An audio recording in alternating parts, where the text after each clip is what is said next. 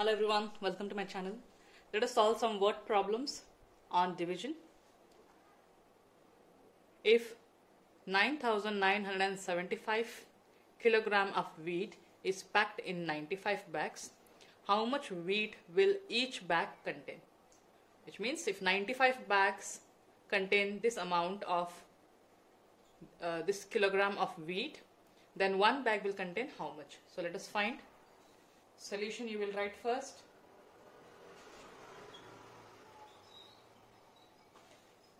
Since 95 bags contain 9975 kg of wheat so one bag will contain how much? So how do we find this we will have to divide 9975 by 95 so let us divide this.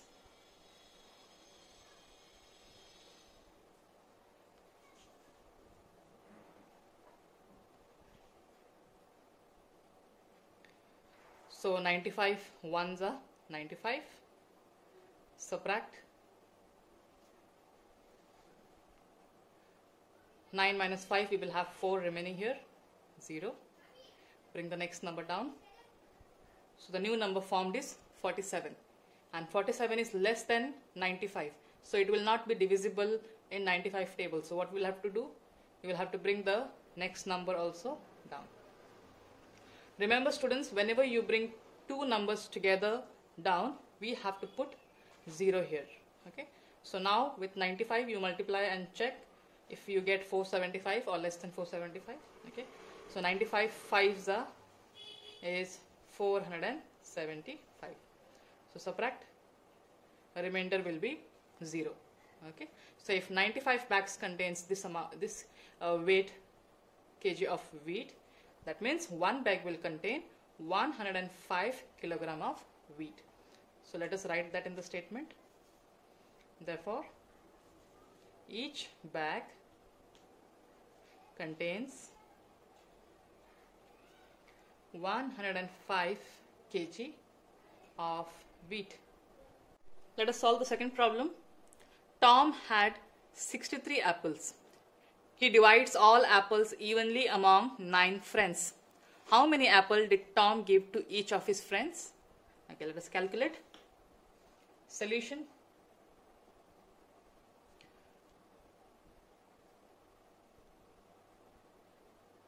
total number of apples. See here, what is the total number of apple Tom has? It is 63. And there are how many friends? There are total number. Total number of friends are 9. So that also you write and take here. So there are 9 friends among whom he has to divide the apples equally. So to find how many apples each friend will get, we will have to divide 63 by 9.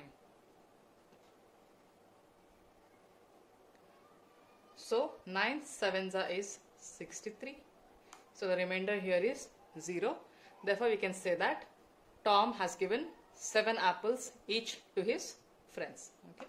So write that statement. Therefore Tom gives 7 apples to each of his friend. Let us solve the third problem. How many hours are there in 1200 minutes? Okay, so to calculate this, uh, first of all, we need to compare this with one hour. Now, one hour has how many minutes? We all know 60 minutes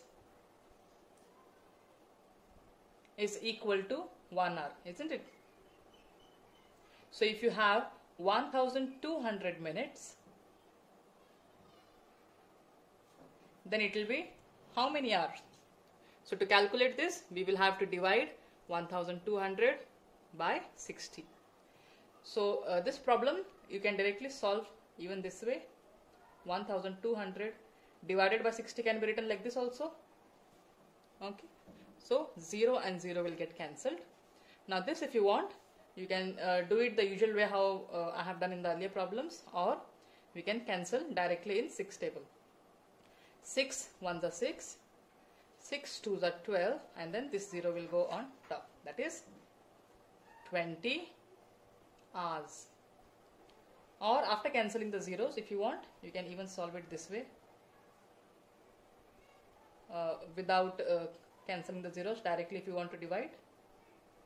Okay 60 twos are will be 120 0 0 0 and then when this 0 is brought down you will also carry it on top okay? So you either do it this way or this way. Both the way we have the same answer. So we will say therefore there are 20 hours and 1200 minutes.